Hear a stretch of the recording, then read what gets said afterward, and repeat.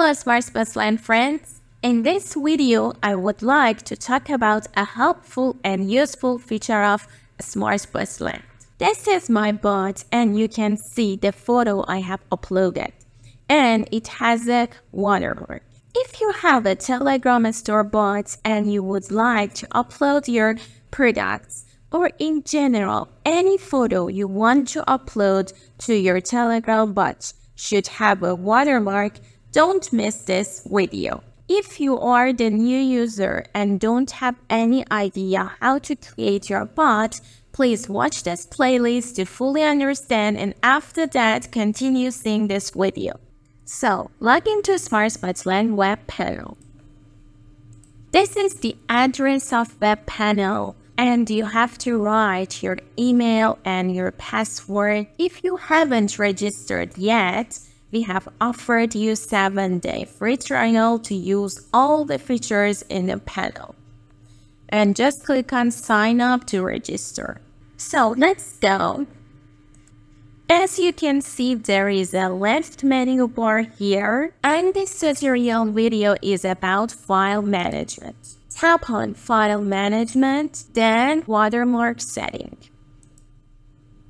I have two bots so here I have to choose one of my bots. As you can see, there is two sections, text watermark and image watermark. Text watermark is, for example, you write your brand name. But if you would like to upload your logo as a watermark, set the image watermark. It's not needed to set both of them. I will set both of them as an example. And here you can see set watermark on places image. It is related to places section.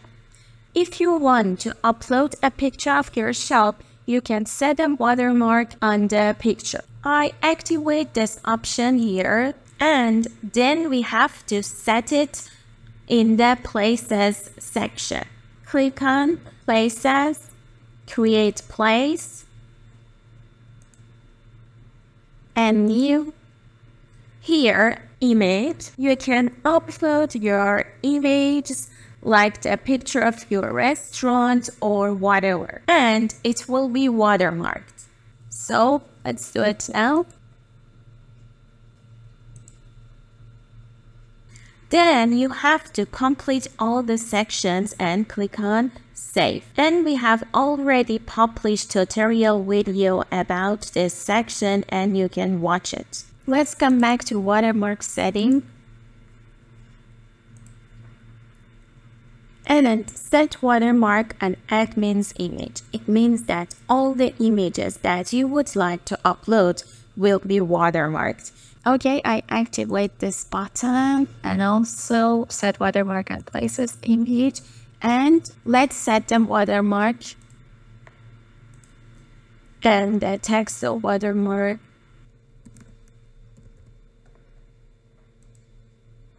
Uh, for example I wrote our website address. You can change font type font size also font color font style and opacity you can adjust how transparent your photo or your text is and padding space around on element content. And here you can specify the location of watermark. Okay, let's change them. And also font size, font style. Enough. In this section, image watermark, you can upload your logo and adjust the width, height, opacity, padding. And also here you can upload your logo and whatever.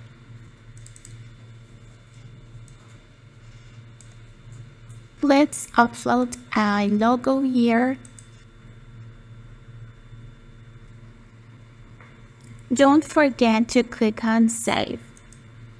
It's done and the watermarks have been set. So I show you in my Telegram bot. There is one step left. As you know, you have to upload the files that you want to be watermarked. And we have already published how to upload your files in a panel, but in this tutorial video, I will show you briefly. And click on New. If you set watermark, your previous photos won't be changed and won't be watermarked. Okay, choose file category and upload your photo.